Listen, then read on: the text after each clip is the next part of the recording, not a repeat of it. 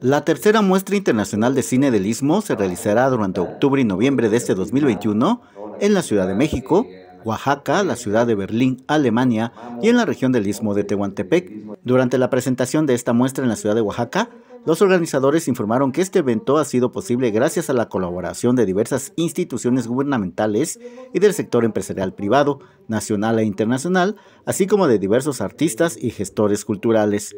En este 2021, este evento se perfila como un espacio de vanguardia para la diversidad, interculturalidad y expresión descentralizada que fortalece nuestras raíces, así como nuestras alas, dijo Raciel Rivas, director general de la Muestra Internacional de Cine del Istmo. Tiene como país invitado especial Alemania a través de la Embajada de México en Alemania.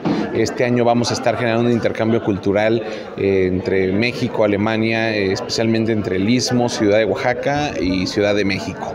Eh, abrimos una convocatoria que pues tendrá como destino la ganadora o el ganador será acreedor de un premio, del primer premio Teófila Palafox, en honor pues a esta gran cineasta de la comunidad ICUTS de San Mateo del Mar y pues bueno, es un monto de 10 mil pesos, es este, ahora sí que un apoyo para las nuevas o nuevos creadores de cine documental en México. En esta edición realizarán un homenaje a Teófila Palafox, cineasta indígena de San Mateo del Mar, con la primera entrega de un premio que llevará su nombre.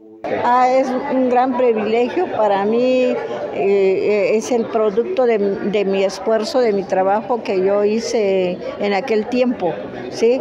que yo no me lo esperaba. ¿sí?